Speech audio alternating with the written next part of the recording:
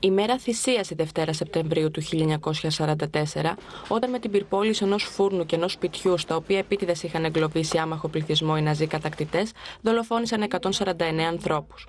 Για να τιμήσει τη μνήμη των θυμάτων του Ολοκαυτώματος, ο Δήμος Πηλέα Χορτιάτη διοργάνωσε εκδηλώσεις με αποκορύφωμα την τέλεση του 72ου Αρχιερατικού Μνημόσυνου το πρωί της Παρασκευής στον ιερό ναό Αγίου Γεωργίου Χορτιάτη. Οι μνήμες σε όλη τη χώρα είναι διάχυτες, από εδώ στα Καλάβρητα, παντού και αυτά τα πράγματα πρέπει να μην τα ξεχνάμε όχι μόνο εμείς αλλά όλη η ανθρωπότητα.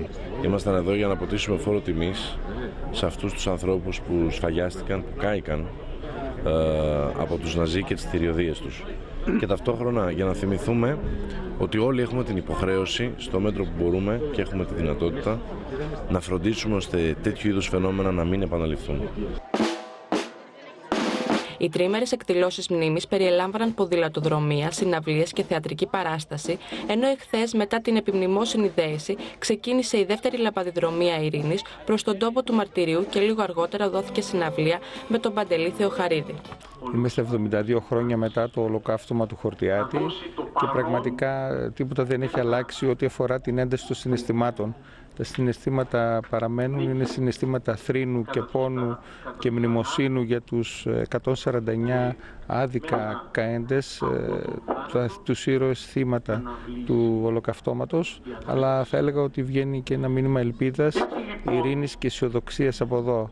Μια ειρήνη που τη διεκδικούμε όλοι σε έναν ταραγμένο κόσμο.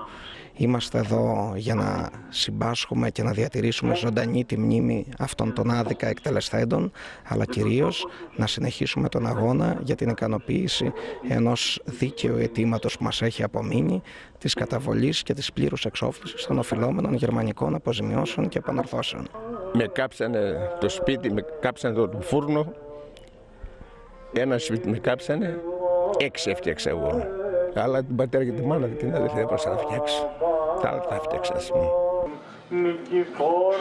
72 χρόνια μετά το μαρτύριο με τους 149 νεκρούς και τα περίπου 300 περιπολιμένα σπίτια και χωρίς να ξεχνά τις αιματοβαμμένες εκείνες μέρες, ο Δήμος Πηλέας Χορτιάτη με τις εκδηλώσεις αυτές εκπέμπει ένα μήνυμα ειρήνης σε μια παγκόσμια κοινότητα.